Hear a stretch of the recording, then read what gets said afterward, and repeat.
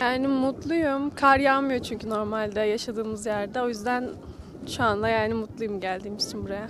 Sınav haftasıydı en son hafta. Sınav haftası bitti. Çok stresli geçti. Şimdi artık sonunda geldik semester geldiği için buraya. Şimdi mutluyum böyle olduğu için.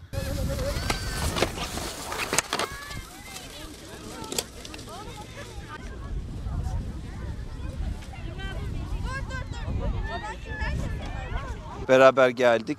15 tatilini fırsat bildik. Kar da yağınca buraya geldik. Ama yeterince kar yok. O yüzden tam bir şey olmuyor. Taşlara takılıyoruz ama gene de çok eğlenceli. Geçen sene kar tabii ki daha fazlaydı. Daha rahattı, daha güzeldi. İnsanlar daha fazlaydı ama daha belki erken saatte daha çok insan gelebilir ilerleyen saatlerde. Bir dahaki haftalarda iyi kar yağarsa her hafta gelmeye çalışacağız tabii kızlar mutlu olsun diye.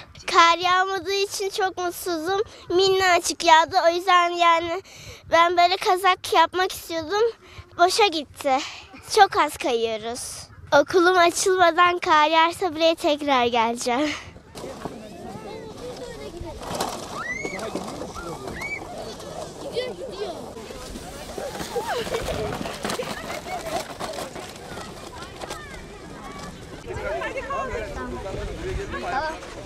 Eren bizim bindiğimiz yerden binin.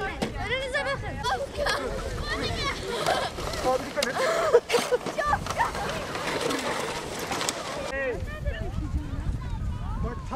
Kırmızı yere gideceğim.